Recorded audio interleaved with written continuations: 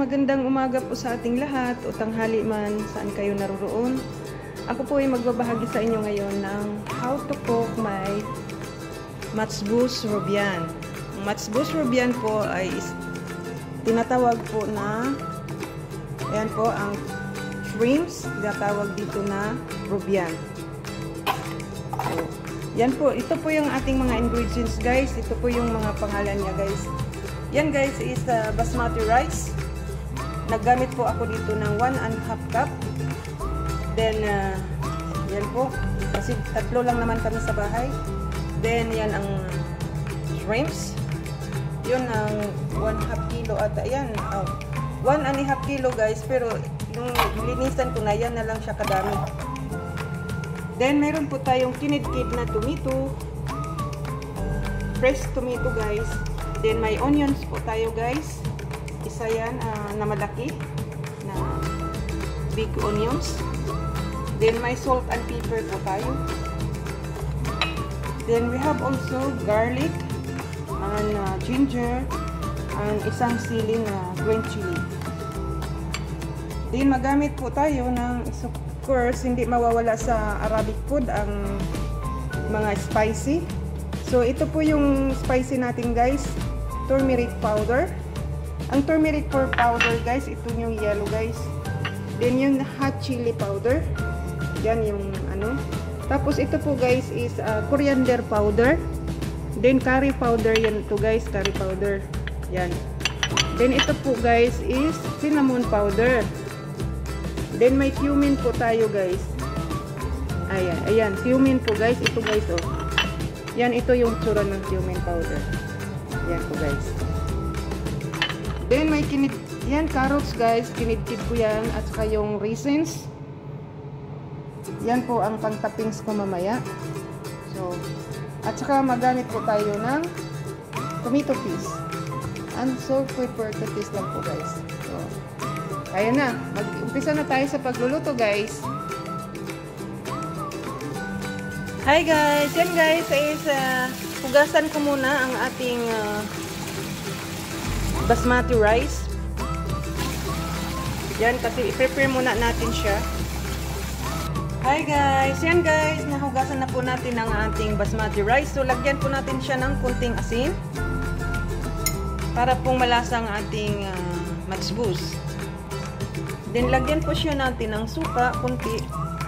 Yan, 1 tablespoon lang po siya.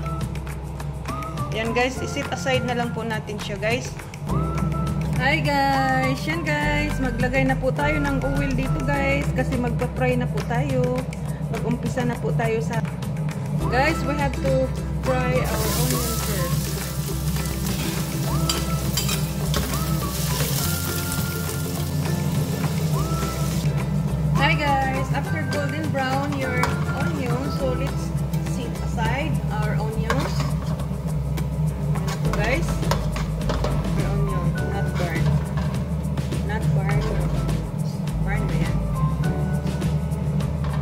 Now guys, let's start. This, uh, I put it the garlic. So I fry there, the garlic. garlic. Fry until golden brown guys. Ingay-ingay ng aking kaserola guys. Kaya pasensya na kayo.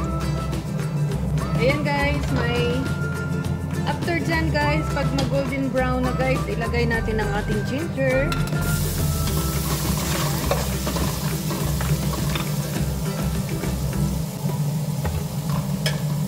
Then guys, ilagay natin ang ating shrimps.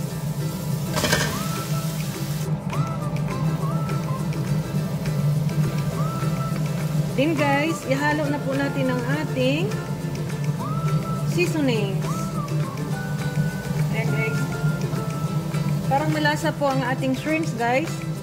Ihalo po natin ang i-add na po natin ang ating seasonings. Yan guys, nandyan na lahat ang yung seasonings guys except sa salt and pepper.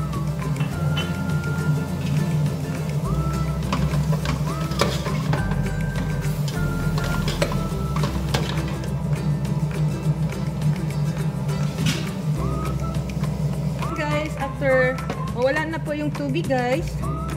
Yan po. ilalagay na po natin ang 1 half of Maggi cubes. Then, para po malasa na rin ating shrimps. Then, lagyan po natin siya ng kunting sampalok. Ito guys is uh, tamarin, uh, tamarin sauce. Ayan po guys, tamarin sauce. Then guys, ihalo po natin siya. I-stir muna natin siya dyan.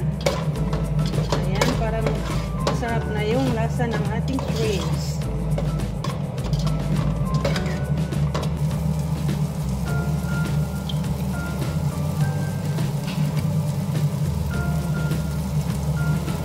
dito guys, ilagay isit aside ko muna dito sa bowl ang ating uh, shrimps para hindi siya malata.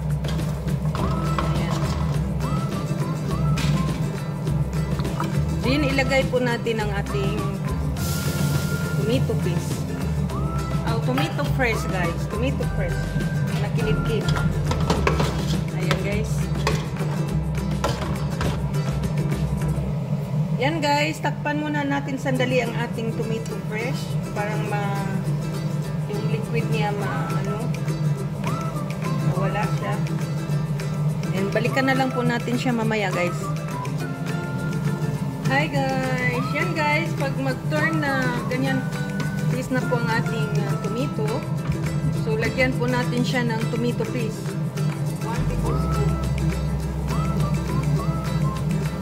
Huwag po marami parang hindi masyadong mapula ang ating kanin. Then, we have, uh, put also the onions.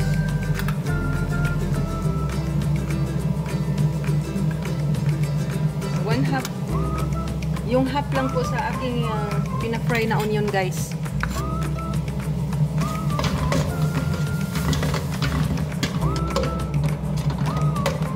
Then ibalik na po natin ang ating shrimps guys. Parang ayan na po guys. Balik natin siya guys para mahalo po siya ng tomato.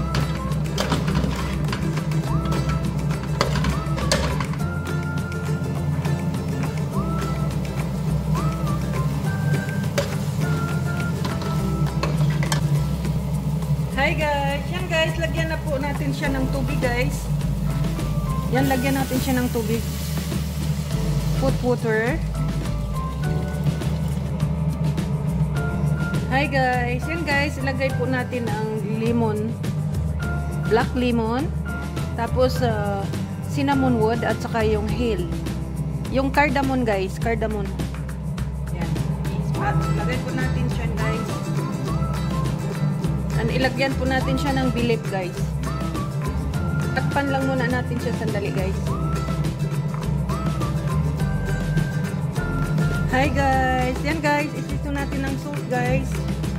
Kasi ilagay na po natin ang ating Inlagyan po natin ng half of uh, Maggi, guys. So, salt and pepper to taste lang po, guys, ang ating kanin.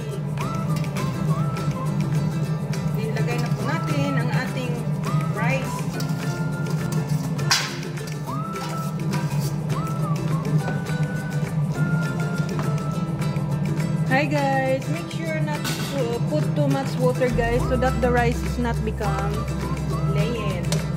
So now we put our chip to cover our rice guys. Hi guys, yan na po guys ang ating matchbus guys. Takpan muna natin na wala na yung tubig guys. So takpan muna natin at you, you must uh, lower the fire so that not burn the rice.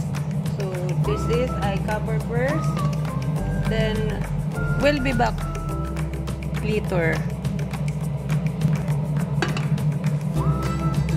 Hi guys! Yan guys, magpa-fry tayo ng ating carrots para po sa ating topping sa ating masbus. Igisa na lang po, igisa yan natin guys. May ano, dyan kunting Ayan po guys, igigisa natin siya.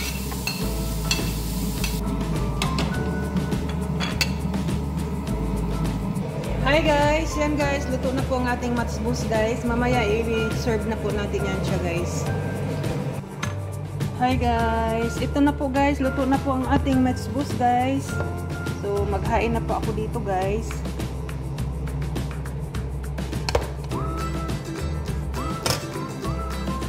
Hi guys! Yan na po guys, ready to eat na po guys. So tanghalian na po, yan na po ang ating pagkain ngayon. Masbus rubian or rice with the shrimps.